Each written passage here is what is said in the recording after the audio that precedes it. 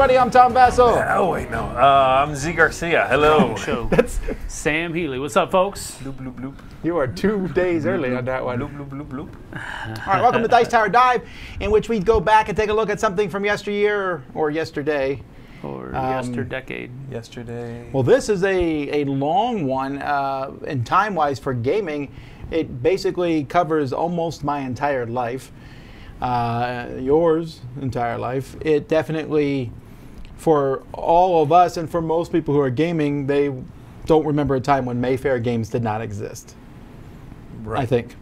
So Mayfair Games, uh, who never really, I think, had a great logo, but eh, it got better, I guess, as time went by slightly. Mayfair Games was founded in 1981 by Darwin Bromley, who, in, in, Man, why are you stealing my facts, man? Well, these are facts I Why are you stealing my facts?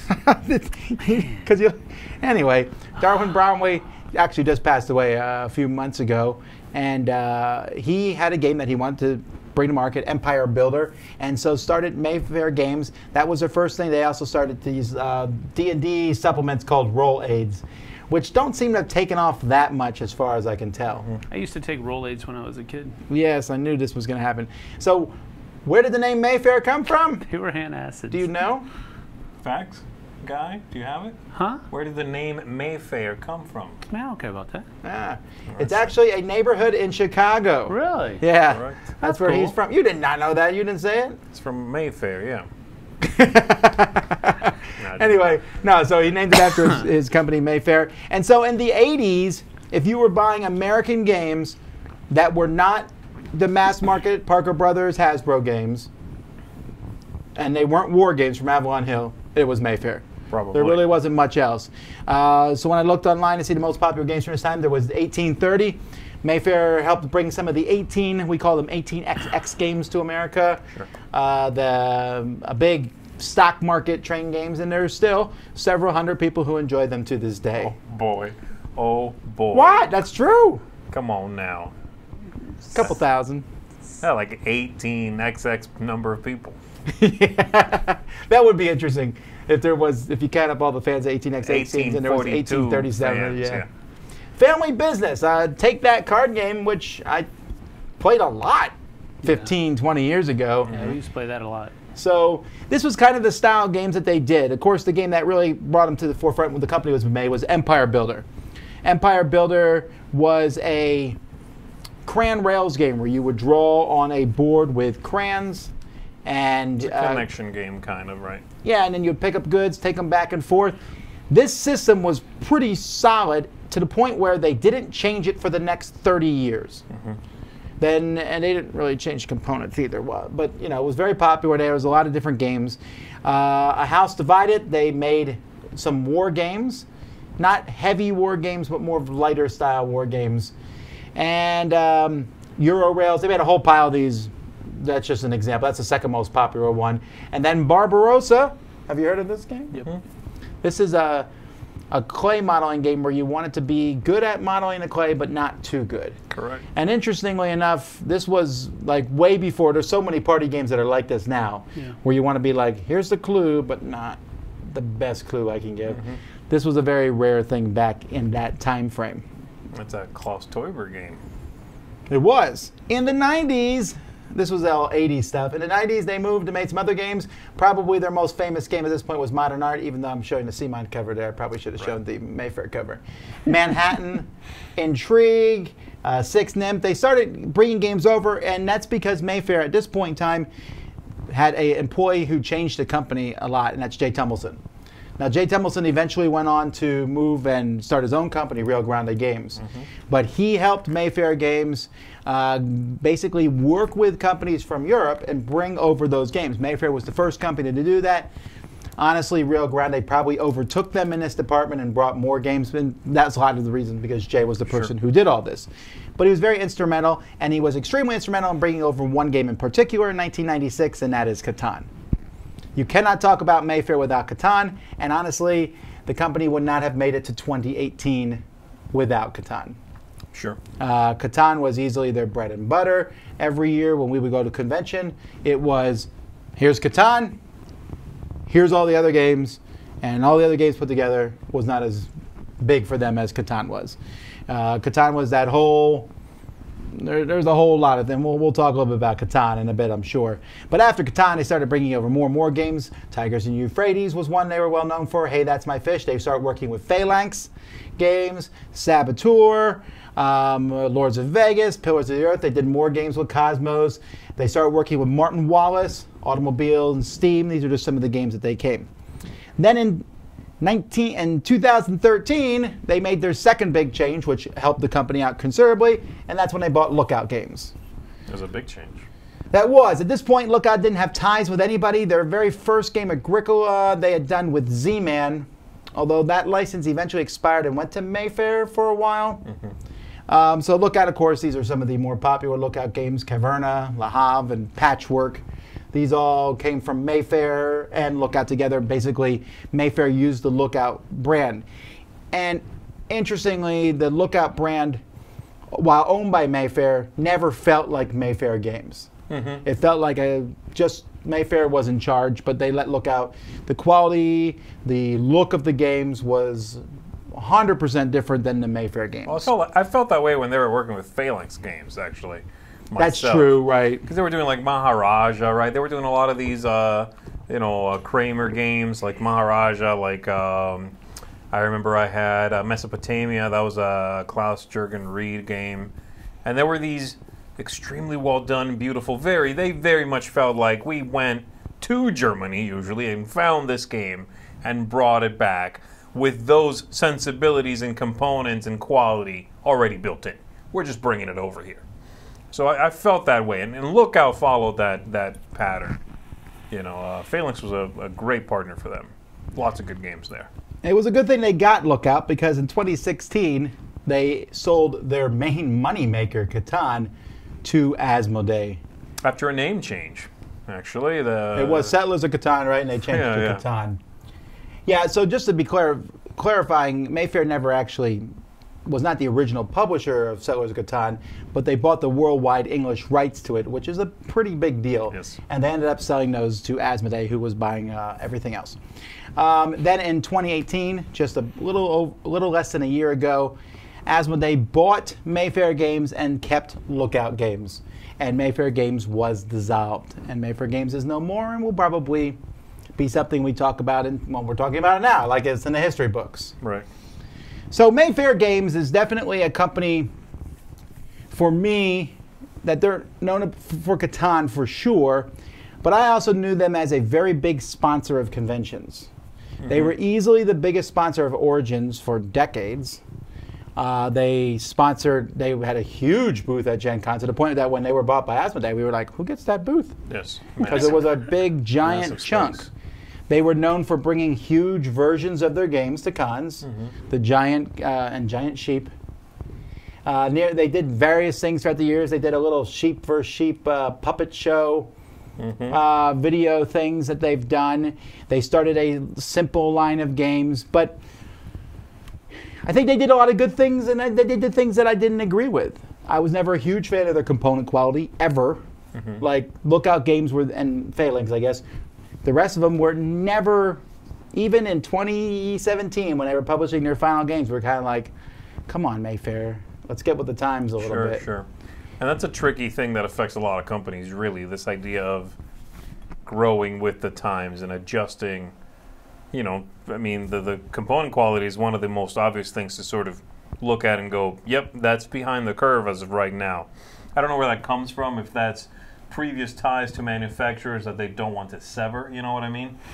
Uh, I'm not sure. I couldn't put my finger on it. I don't know that, that side of the business, but um, it seems to happen to a lot of these companies that have been around for a long time. Could just be a mindset. I mean, we just got we, we just got through reading that quote from uh, I can't remember who else it was, but um, about how you know games used to be about the mechanisms and all of this other kind of stuff, Oh, from but Alea, now yes. it's yeah from Alea, um, and and now it's more about how the game looks as well as all. So it's just a old guard.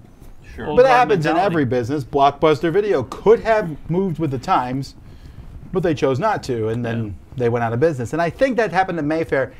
It also seems like with Mayfair that once they sold Catan, they acted as if they still had Catan money.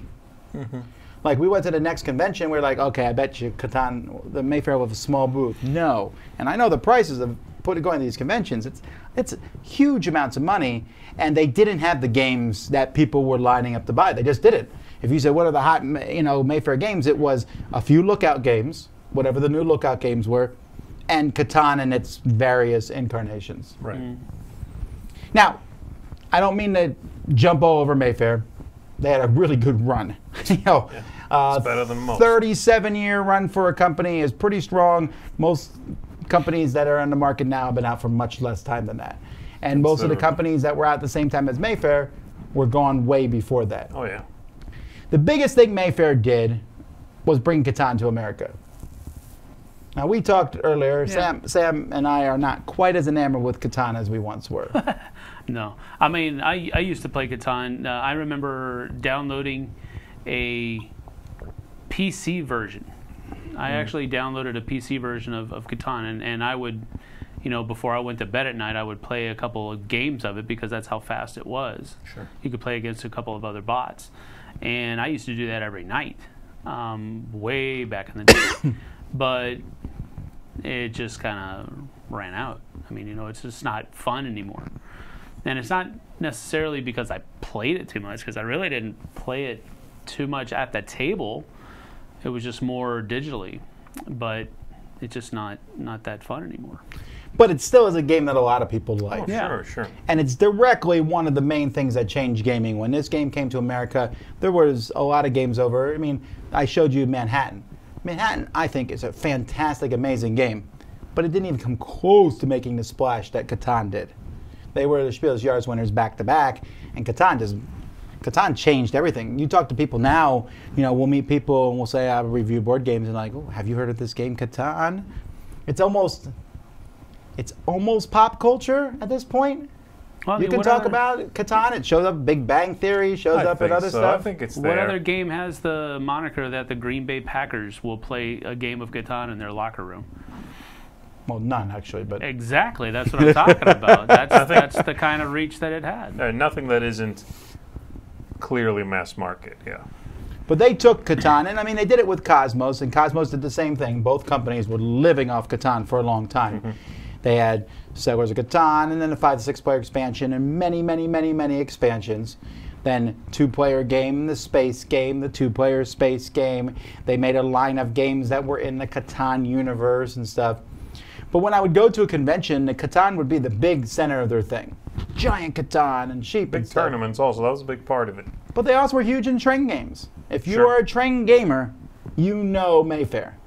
When I would go to the Puffing Billy, which is a section at conventions that plays train games only, I would say more than half the games are Mayfair. Right. With them having all the Grand Railroad games, several of the 18XX games, the uh, Steam from Martin Wallace. What other train games are there? I mean, there are some, but the heavy Eurogamers, the heavy, I shouldn't say Eurogames because train games and Eurogamers are two different birds. But the train gamers liked Mayfair. So the uh, top 10 list of games that are most, I sorted them by most rated. Okay. So one is obviously Catan. Catan, yeah. What do you think number two is? From them. Are Um, we including lookout games in We it? are including lookout games. And it is a lookout game. but it may not be the one you're thinking of. boy. Uh, I would just go with the white, with the elephant in the room, and I'd say Agricola. No, it's not Agricola, actually. a it's- smaller game. It's a small game. Patch, Two player. oh, oh. patchwork. You did something. Patchwork, yeah. Patchwork. That's that's a two player game that's really gone over well. That's I mean, gone over really well. amazingly. Yeah. Then three is Caverna. Mm-hmm. Their fourth most popular game is uh, from a uh, basically a pairing they had with DV Giochi for a while, Bang. and they brought Bang over. And while we barely talk about Bang these days, when it was big, Bang, was That everywhere. also a huge hit. Yes. I go to conventions and it was bang, bang, bang, bang. Oh, that makes sense. It bang, works. bang, bang, bang. It works. Um, then Tigers and Euphrates. For a while, that Also was the hit. Euro game to play. uh, Le Havre, then Saboteur, which was a small little card game. Hey, That's My Fish. They were the first to make it, maybe. It's been made by except think, four for different publishers. Except for the one that was sort of not made with a big publisher that the that the designer made. Yes. and then No Thanks, which eventually Z-Man picked up. Right. Well, actually, Z-Man did it first. Then Mayfair had it. There was a lot of. It was especially weird with Lookout being bought because when Lookout was bought by Mayfair, they had a lot of licenses already in play. Z-Man already had Agricola and um, La Havre, I think. They had two of the games, and there was other games that were in play. And as time went by, Mayfair, once those contracts ran out, Mayfair said, "All right, it comes back to us." So Agricola came back to them, and they made a family version of Agricola, That's right. and they did a few other things. Um, but yeah, it's just it's kind of sad for me to go to a convention and not see Mayfair. I, you know, we went to Origins without Mayfair, and it was noticeably not there for me. They bought giant banners every year. They, we were always by their booth. Remember the the five dollar games? Mayfair produced so many games, and when they produce games, they obviously print it in huge print runs Yeah. yeah, They must have. because you could go there a couple years later after the game came out and no one's playing them anymore and you could buy them and this was before we had the glut of games mayfair was ahead of the curve on that the glut the glut of games Yeah. so I, I I have good thoughts on them as a company what do y'all think Uh, again, part of me thinks that they were, again, sort of a product of their time, so their games didn't quite keep up with the times. But um, they put out a lot of. They, they were one of those companies that did work with a lot of other publishers and designers. I remember I uh, I had my um copy of Sheer Panic from uh, the brothers. Uh, Prager brothers yeah, and I, I, I thought that production was fantastic, and that was the kind of thing that sometimes they would do these little publications from corners of gaming that you might not have access to. Mayfair got in there, they brought it over, and they made it available, and it gave you a window into you know window into other places and other sort of design schools and ideas. I thought Mayfair was great for that. There were a few companies like that. They were one of the big players in that space. Then everybody kind of started doing that, but um, that's that's sort of how I think of the company now. You know, that's the biggest thing. well it was mayfair or rio grande Pretty much. back in the 90s that was it you got until z-man entered yeah, the Z-Man arena came around and, and sort of you know raided Japan. It felt like uh, for uh, little games, uh, but before that, yeah, yeah, all Phalanx games. Those were big, you know, those long, really uh, sort of fancy boxes. Uh, those had a lot of presence to them. Yeah, I think Phalanx was probably more. I was more connected with them than I, than I was with actual Mayfair proper. Um, yeah, Alexander the Great, Mesopotamia. Those are a couple of the ones that I have I've had on my shelves in the past. But really, kind of uh, Mayfair, I guess, just wasn't my kind of company. Uh, generally speaking, I mean, yeah, they had Catan that you know pretty much you know everybody and their mothers played, so so to speak. That's that's an over exaggeration, but beyond Catan, there really hasn't been. well you liked a lot of those small card games bang no thanks saboteur No, I didn't like Saboteur. oh you didn't like saboteur No, I didn't like Saboteur. you did like bang though Bang and No Thanks. Yeah, those were the two card games that, martin wallace sword game that uh, yeah, and Toledo was the one that I bought at that five dollars. Yeah. they had that one year. So I mean, it's been hit or miss, I guess you could say, with me for Mayfair. It hasn't really been a you know, misty eyed, I'm going to miss them, that they're gone type thing now.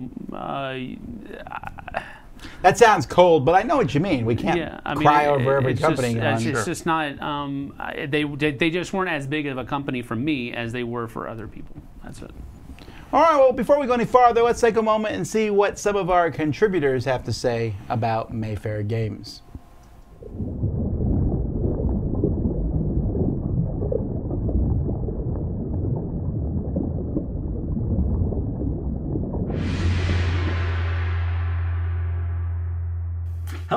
My is Jonathan from Board Game Opinions. Now, when I first got into gaming, I don't think I could have told you what a publisher really was. I mean, I was sort of vaguely aware that they got their logo on the corner of the box, but what does a publisher actually do? It was always a bit like Chandler's job from Friends. You know, you were kind of aware that he did work, but you weren't really sure what it involved. Well, I kind of discovered over the years what a publisher does, and I think a great analogy for this is a bit like building a house. Imagine you have this project to build a house, and you're going to need lots of different people to help you build a house. You're going to need an architect to design the house, that's like the design of the game. You're going to need builders who kind of put the bricks on top of each other and make the physical house, that's like the manufacturers of the game. You'll need interior decorators to do the painting or wallpapering, whatever it is, a bit like the artists. But you really need a project manager a group or person who can bring all these other people together who can sort of allocate the timetables when the different bits of work need to be done make sure one bit of work gets passed to the next person etc so the whole thing comes together as a quality product at the end. And essentially that's what a publisher is doing.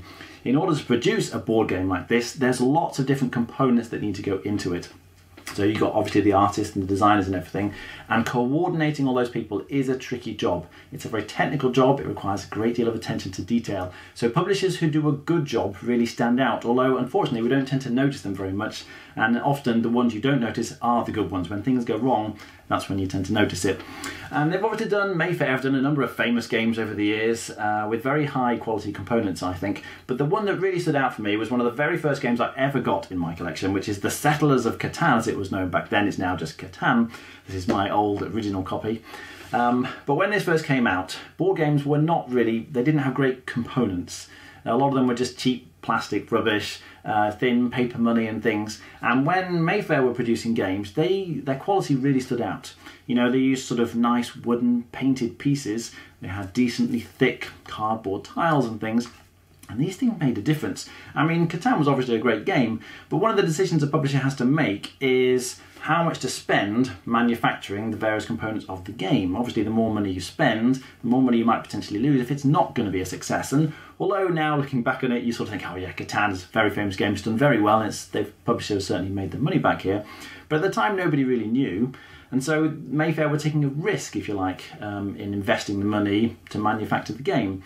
But they chose to make a good, high quality game with good, high quality components, and that really stands out to me. When I played this, I played it with my friends, and like, oh, these are these are really nice pieces, good quality, aren't they? Compared with all the other board games that we've been playing at the time. And they've just continued to do really high quality games. You know, Caverna's got some fantastic quality pieces in it. And it's, you know, with all the sort of modern games with lots of super high quality minutes and things, it's hard to really think back to what games were like. Um, but Mayfair really took a step up in terms of production quality, and I really appreciate that. You know, there are plenty of companies who don't have the highest quality of components, but Mayfair for me really stand out as one of those companies that do.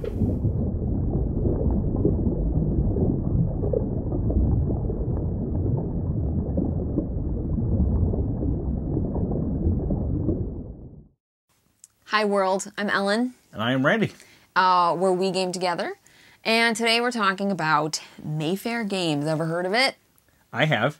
I Have had you? I had not until not long enough ago. So Ellen's not one to pay attention to publishers and designers Ever. very much. And Yeah. I'm not really that much either. And you know, there's like pressure I feel from There people to like you don't know the publisher, you don't know this. What are you stupid? I'm like a little bit, but you know, I try to don't pay know. attention, but like, you know, if I like a game or don't like a game, Yeah, you know. I gotta say. But anyways, I we're talking about I just don't pay Mayfair. attention to that too much. I I, don't guess. either. I feel kind of bad. But so- anyway, so Mayfair Right. Games, they brought over a lot of the Euro games um, early on, um, which we're very grateful for. We We, love Euro games. Yeah. We were not into board games when that was really happening. true. Uh, we got into it maybe four ish years ago, and you got into it like what two and a half? Two and a like, half. Kind yeah. of a newbie still. I think we're both fairly new. I think five years is pretty new. Yeah, I guess it is. Yeah, because there's a lot of people in this hobby that are they're like, oh, I'm going on 20 They've been years. in for a long year, long, long, long time. Uh, so I, you know, we did a little research on We did. games. We did a little. We didn't want to sound totally dumb. Mostly meaning just I wanted to look up all the games that Mayfair has done, and uh, and we obviously looked on our shelves and Yeah. things, and I found that we own four games that are made by Mayfair: uh, Caverna, Isle of Barron Skye. Park, Yeah. Isle of Skye, and Patchwork. Patchwork. I then found out that they're really lookout games that Mayfair has also produced. So I don't Frauds. think we actually have We are frauds. or have played any like original Mayfair titles, or even from many of them that they brought over pretty early on. Yeah. Um, I know Catan is like one of the huge ones, and that is a game that I've actually never played. I've never played Catan either. Is this like a must? I don't know. No, I I don't, don't think really so. want to. I mean, there's so many good games out there. I think it's. I've never felt the desire. I mean, obviously. Catan has done so much for the hobby. Yes. It's brought it to mainstream for a lot of people. You hear it all over the place. Like when when somebody's playing an advanced game, it's it's some kind of Catan. Like Yeah. the uh, Green Bay Packers in our neck of the woods, the team would actually play Catan together. I And so that was like a, that was like a story that. and things like that that they would play and together. Yeah, That is so cute. yeah. So it's just there's no question that it's a great game, and it's kind of one of those good fun to hate on it now, just because Hmm. I have it's you that. know it's it's that well that's the one that gets you into the hobby, but. It's if it wasn't for Catan, Yeah. who knows where we would be That is true. the hobby. Thank you, Catan. Thank you, May- Mayfair Games, for that. Right. For real. So that's that's kind of our take on it. Um, I've I've found that, like I said, Lookout Games is is through Mayfair has been great. But if it wasn't for Mayfair, they probably wouldn't be here. True. So So thank you, Mayfair. thank you again. Yeah, we're gonna just say thank you about twelve more times, and then we'll end this thing. Speaking of ending it, let's end it. Let's end it. See you later, guys. Bye.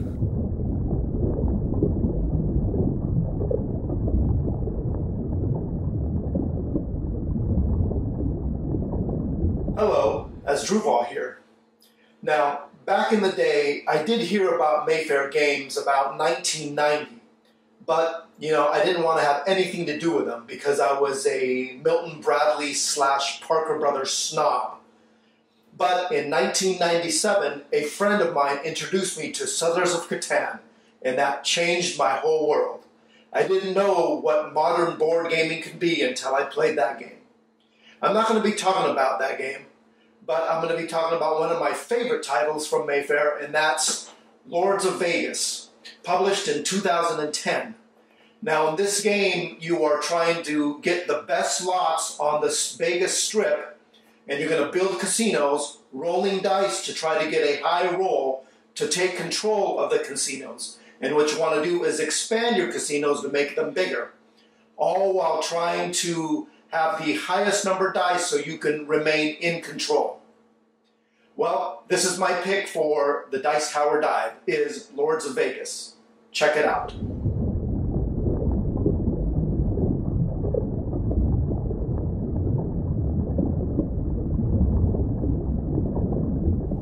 Hello, and welcome to another If You Like That, You Might Like This segment with Graham Anderson. Now, since we're not talking about a specific game this week, but a publisher, I thought I'd have a look at some of my favorite games from them. I'll be looking at a short, medium, and longer length game from Mayfair. Now, my short game is one called Saboteur with its expansion Saboteur 2. Now, players take on the role of dwarves, and as miners, they're digging into a mine hunting for gold. But of course, not all the dwarves want to share the rewards and can sabotage their fellow dwarves. Now there are going to be three gold cards placed on the table face down, with one of them being the gold card. On a player's turn, they will either play a tunnel card, which has to be placed connected to an existing tunnel, an action card, which can either hinder another dwarf's progress or remove a hindrance from another dwarf, or they can just pass. Now the miners are trying to reach the gold card with the gold nugget on it, and the saboteurs want them to reach one of the other gold cards, and after three rounds, whomever has the most gold is the winner. Now, since this is a social deduction game where you don't know who is on what team at the beginning of the round, your goal is to help your teammates. Now, it is fairly quick and allows you to try and convince everyone that you are on their team. Now, this is the type of game I like, where you can look people right in the eye and say, I have no cards that can help, while holding a handful of extremely useful cards for their team. Again, that is Saboteur. Now, a middle length game I want to talk about is called Riverboat. Now, this game lasts about 90 minutes to 2 hours, and you play as owners of a 19th century farm on the banks of the Mississippi River. You need to organize your workers to make sure that the crops are planted according to the type and harvested when they're ready so you can ship them down to New Orleans. Now, during each of the four rounds, players will get uh, to draft the phase cards, and then in phase order, everyone will get to do the action in the phase. But the person who holds the phase card will get a bonus. The phases are things like getting the fields ready by placing your workers onto the field board, then getting the crops to plant in phase 2, then you need to harvest one type of crop in phase 3 along with loading up your riverboat. Then you can launch your riverboats in phase 4, and you can collect bonus victory points in phase 5. Now there's a lot of things I really like in this game. The drafting of the phase card. Everyone gets to do a phase, but the person that has the phase card gets a bonus when they're doing it. planning out your garden to try and harvest the largest group of vegetables you can, and getting the right riverboat and moving your portmaster along the port. This game is not overly complex, but there are a number of things to be looking at and watching for. A great way to spend an hour and a half. Now, the final game I want to talk about is actually a style of game, and that's the Crayon Rails. Now, I have several Crayon Rail games, but my favorite, I'd have to say, is Iron Dragon. Now, this is a train game that takes place in a fantasy world where your engines are actually dragons. Now, the games do last around four hours, but it's not an overly complex game. You need to be building routes to pick up and deliver goods to fulfill orders. You start with a certain amount of money, and then you need to draw. That's right, you actually draw with crayons on the board which route you want to build. You need to carefully manage your money as you need to fulfill demand cards before you get any more money. Now, the original Crayon Rail games was Empire Builder, but I prefer the fantasy theme in Iron Dragon. Plus, the little rules changes it introduces are interesting. So if you're looking for a longer train game that is not overly complex, then Iron Dragon is definitely one to check out. Anyway, thanks for watching, and I'd love to hear what your favorite Mayfair games are in the comments.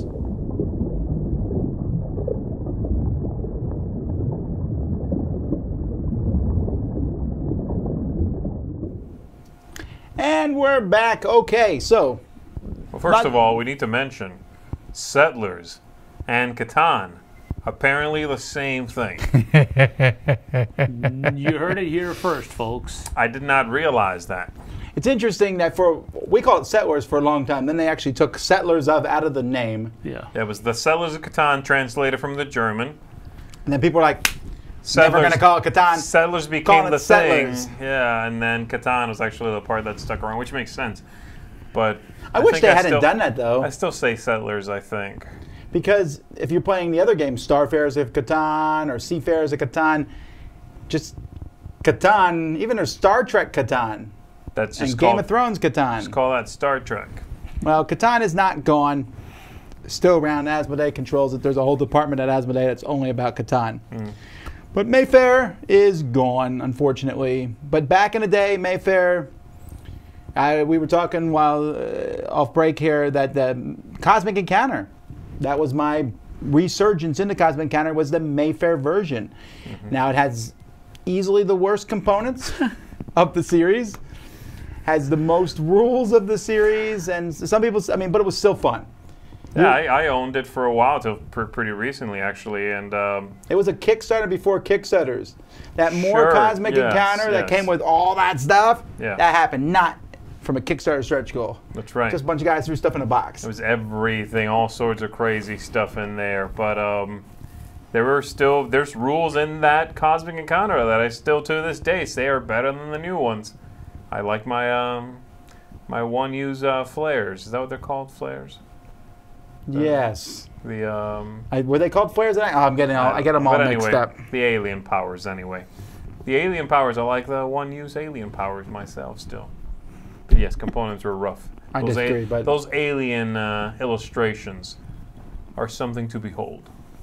I'll put it that way. Well, that's pretty much it for taking a look at, uh, at Mayfair. Unless you guys had any other thoughts, I, I again, I, we got to give them a lot of props. Nope, they were all up there. no, I mean they, they did a lot of good for the hobby, and a, there was a lot of employees from Mayfair over the years. Many of them still involved in the hobby, just at different companies. Yeah. The people in Mayfair working with Catan, several of them moved on with Asmodee in Catan.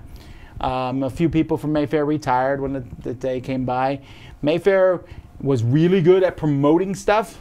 I've never seen a company promote, well, other than Bonacor, I guess, on his own, but well, Mayfair though was also willing to spend money on their promotions, and they promoted like all get out. I mean, they would, they they would go for licenses like Star Trek Catan.